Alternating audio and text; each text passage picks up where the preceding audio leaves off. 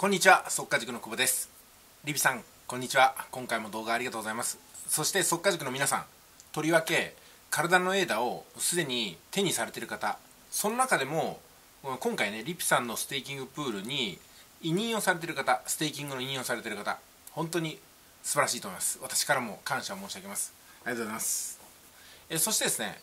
今度またねキャンペーンを始めようと思います。6月23日のズームライブでえー、委任の募集体のステーキングの募集をしようかと思います、まあ、前回ねたくさんの方のご応募いただきました。相当な数委任料が集まりましたので私としても本当にねお知らせしてよかったなっていうところがありますしリーフさんもね感動の動画を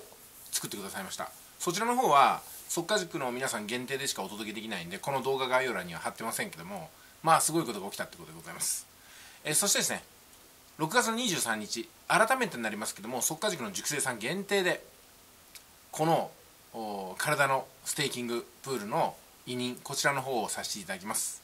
委任料によってはリピさんからプレゼントがございますのでもちろんね体のプレゼントです。二重三重に得でしょ？ぜひねこの機会をご活用ください、えー、そしてですね今回は前回委任された方も今回のキャンペーンに参加することができますのでえ該当の動画をご覧いただいてですねしっかりと検討してそしてお忘れなく連絡してください。リピさんいつもありがとうございます、え、それではね速稼塾の皆さんは公開限定の動画をご覧ください。それ以外の方はすいませんけども速稼塾に入っていただいて体の枝をご検討の上で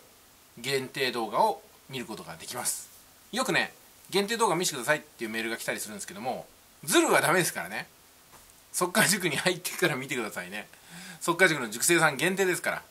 まあね脇が甘くていいですよっていう時もありますけど今回は私以外の方がね関わってるんでダメです。ルールは厳正にさせていただきます。速稼塾の塾生さん限定でですね体の枝のステーキングこちらの方、えー、今月23日21時からライブ放送を Zoom でしますので該当の URL をクリックしてライブ放送にご参加ください。それではリピさんそして他の皆様よろしくお願いします。ありがとうございました。